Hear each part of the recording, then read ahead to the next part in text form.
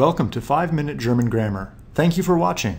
This presentation will introduce indefinite articles in the nominative and accusative cases. You will recall from the presentation on definite articles that the endings of these articles show the gender, case, and number of the noun they modify. You will also recall that the masculine definite article was the only one that changed as it moved from the nominative to the accusative case. These patterns, with a few minor exceptions, can also be found in the indefinite articles. In English, an indefinite article, either a or an, is used when we are talking about a thing in general, not a specific thing. For example, a tree instead of the tree.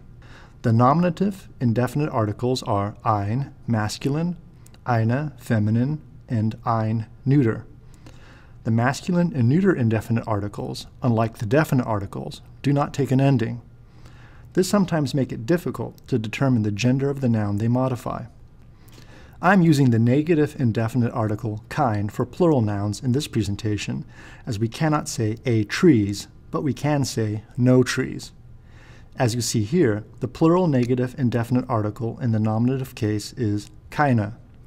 I will discuss negative indefinite articles in a later presentation. The endings for the feminine and plural indefinite articles in the nominative case are e, which is similar to the pattern we saw in definite articles. The accusative indefinite articles are einen, masculine, eine, feminine, ein, neuter, and keine, plural. Again, the feminine and plural indefinite articles follow the definite article pattern and add an e ending.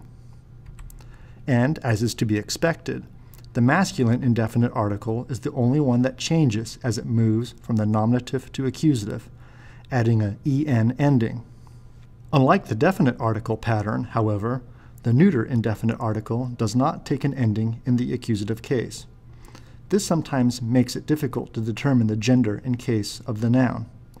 Let's take a look at a few sentences to explain this a bit more.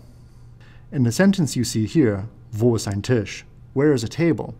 It is difficult to know whether the noun is masculine or neuter, since ein does not take an ending. The same thing applies here with wo ist ein Auto? Where is a car? In these cases, you simply need to memorize whether the noun is masculine or neuter. By looking at the verb, however, you can guess whether the neuter indefinite article is nominative or accusative. Here, the linking verb indicates that auto is a predicate noun and ein must be in the nominative case. And here the transitive verb indicates that auto is a direct object and ein must be in the accusative case. Paying attention to verb forms is also important when dealing with feminine and plural indefinite articles. Finally, to distinguish between feminine and plural indefinite articles, you will need to be familiar with plural noun endings. In this sentence, er sieht keine Tür, he sees no door, or he doesn't see a door, the noun does not have a plural ending but it does receive the action of the verb. In this case, keine would be accusative feminine. However, the noun in this sentence does have a plural ending, which means that keine would be accusative plural.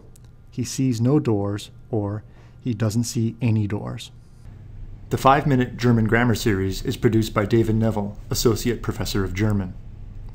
The videos, scripts, and lecture slides are released under a Creative Commons Attribution, Non-Commercial, Share Alike 4.0 International License.